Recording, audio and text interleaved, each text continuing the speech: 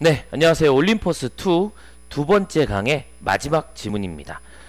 아이들이 가족의 규범 안에서 활동할 수 있도록 해주고 만약에 그걸 넘어가면 처벌하기보다는 먼저 미리 경고를 하거나 설명을 해줘라 라는 내용의 글입니다. 이 문제 바로 진행할게요.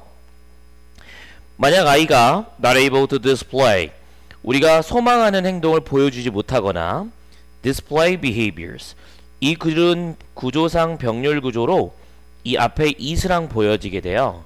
왜냐면 행동을 보면 이거 말 안 된다는 얘기잖아 맥락이. 아이가 원하는 행동을 보여줄 수가 없고 혹은 which is inappropriate for family term norm 가족의 규범에 맞게 해, 맞지 않은 부적절한 행동을 보여준다면이 되니까 is와 함께 가야 돼서 요 디스플레이 맨 마지막에다가 그렇죠 s를 붙여주셔야 되는 겁니다.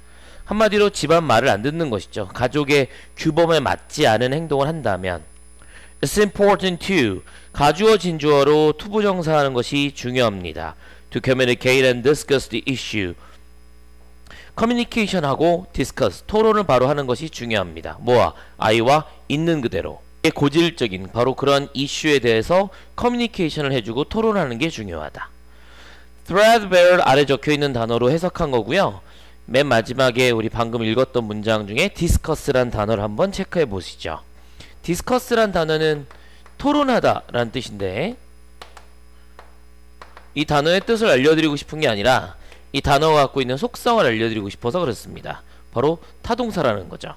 우리나라 말로 토론하다라고 생각하면 무엇에 관하여라고 생각하잖아요. 하지만 영어에서는 about을 붙이지 않고 바로 목적어를 쓰는 완전 타동사로 쓰여집니다. 그러니까 이 자리 뒤에 about이나 on이나 over과 같은 전치사를 동반하지 않는 것이 이 discuss란 동사의 특징인 거예요. 물론 discuss를 명사화시켜서 discussion이라고 쓴다면 뒤에 about 같은 걸 붙이는 것이 맞는 표현입니다. 하지만 discussion이 아니라 discuss라는 동사를 쓰고 about을 쓴다면 그 부분은 잘못된 표현이다 라고 기억을 해두실 필요가 있겠죠. 그래서 영어에서 discuss를 타동사다 라는 개념으로 기억을 해두시고 이 문장 보시면 됩니다.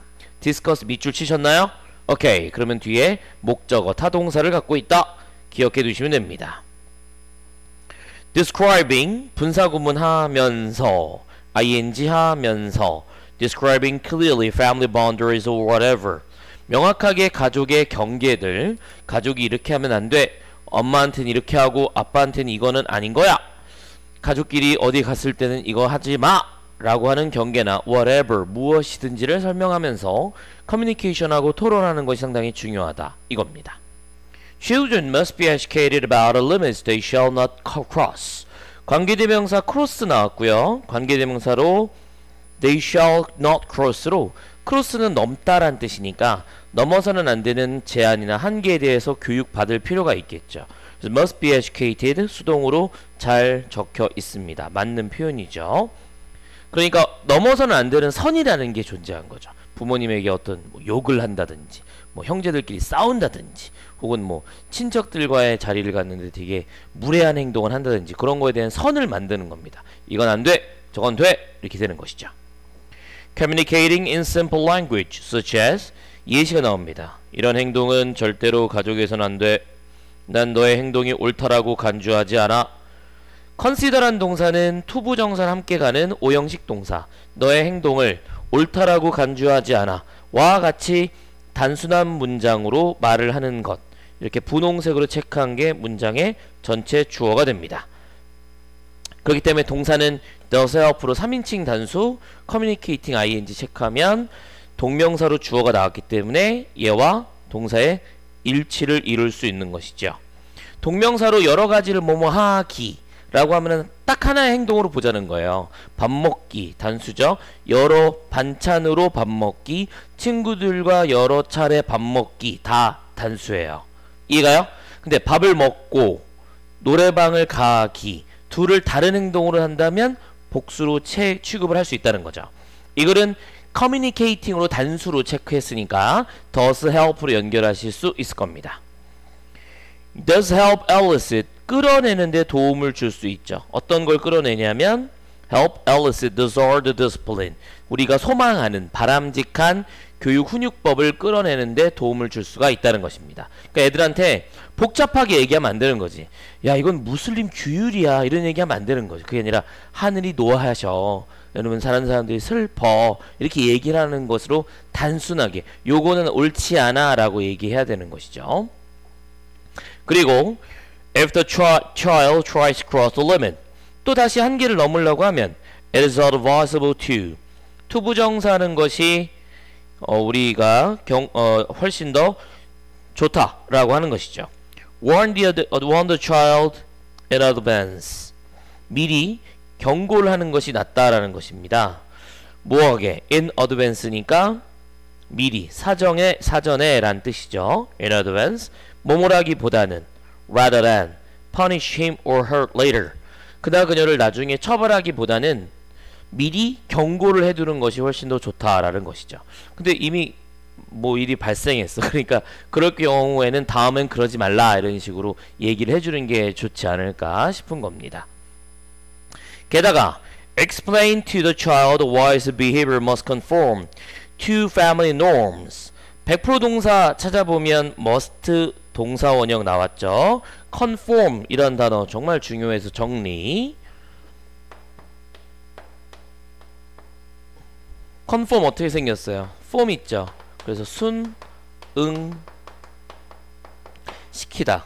순, 응이라는 거는 형태로 맞추다는 거죠. 유니폼이 뭐예요? 유니폼. 같은 형태. 그러니까 교복이나 군대 유니폼 같이 같은 옷을 입는 거잖아요. 그래서 컨폼은 어떤 사람을 순응, 말을 잘 듣게 같은 형태로 만든다라는 동사예요. 여기서 나오는 명사 형태로 바꾸면 conformity 이 글은 고등학교 3학년 수능에서도 많이 나오는 단어입니다. 순응입니다. 요거의 반대말은 어떤 개념일까요? 서로 deviance 명사로 일탈인 것이죠. 그죠? 우리 동영상 강의 보다가 지금 핸드폰 보는 거 일탈. 오케이? 선생님이 이거 들으라고 할 때 열심히 듣는 거 수능. 오케이? 요거랑 비슷한 단어들도 있어요. 조금 비슷하게 생긴 단어. Confirm. 중간에 firm이 들어가 있습니다. confirm은 무슨 뜻이에요? 동사로 확실하게 하다, 확인하다. 유사한 형태로 장난친다면 confirm, conform. 반대말로 장난친다면 deviance, deviant. 그러면 일탈, 일탈의, 일탈하다 이런 단어로 반대말로 쓸 수가 있겠습니다.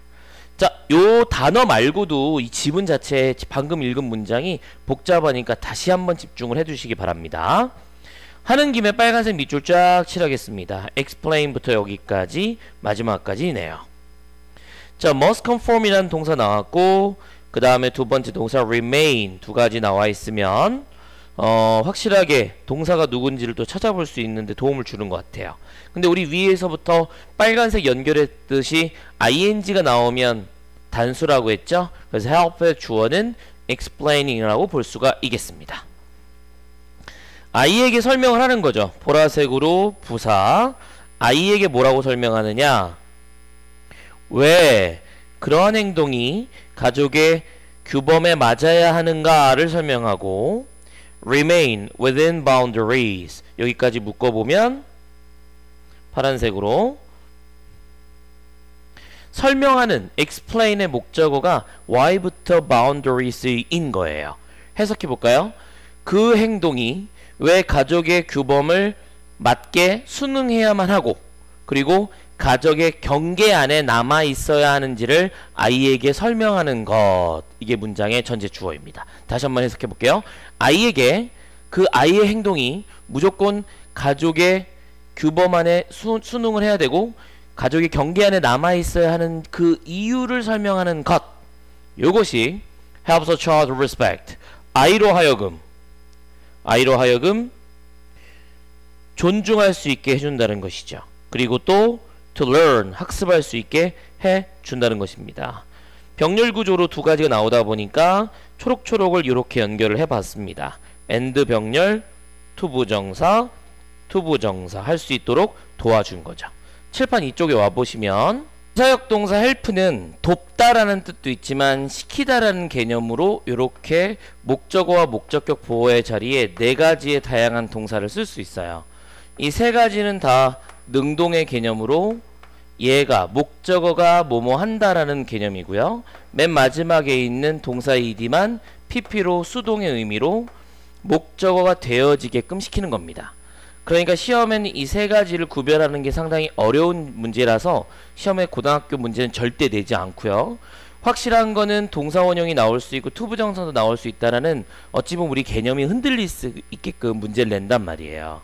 그래서 우리 help라는 문장 다음에 목적어 다음 투부정사가 두 개가 나왔죠. 우리 지문 보시면 helps 커뮤니케이션하고 설명하는 것은 아이로 하여금 존, 존중하도록 만들고 아이로 하여금 학습할 수 있도록 만들어준다. 이렇게 도움을 준다라고 해석을 해두시면 된다는 얘기예요. 그래서 다시 한번 칠판 이쪽 보시면 시험 문제 출발할 수 나올 수 있는 부분은요. 이 부분을 투부정사로 지금 할게 to respect 존중하는 거하고 to learn 이 두 가지를 and 병렬화돼서 물어봤잖아요. 이 녀석을 갖고 to를 뺀다고 해서 틀렸다라고 볼 수 없습니다. 하지만 이 자리를 respected의 과거 시제로 썼을 때나 혹은 수동의 느낌으로 썼을 때는 그 부분은 문법상 틀렸다라고 볼 수 있는 것이죠. 거기다가 방금 읽었던 문장의 respect와 to learn이 어떻다고요? 병렬로 연결된다 그랬죠? 그럼 같은 구조니까 얘를 learning이라고 쓰는 것 자체도 문법적으로 봤을 때는 벗나, 벗어난 부분이라고 얘기할 수 있는 거예요. 그래서 respect, to learn 두 가지가 help 동사의 일부다라고 생각하면 됩니다. 아이들로 하여금 가족의 경계를 중요성을 존중하도록 도와주고 그리고 또 그 프레임 경계 안에서 행복할 수 있는 방법을 배울 수 있도록 도와주는 거죠. 그러니까 강압을 하고 처벌하는 것보다는 설명해 주는 거죠. 너가 이렇게 하는 게 우리 모두가 행복하다. 사랑하는 아들과 사랑하는 딸아 이렇게 이렇게 해주는 게 좋겠다. 라고 설명할 수 있다는 것이죠. 아시겠나요? 자, 지금 방금 읽은 문장이 가장 어려운 문장이라고 보고요.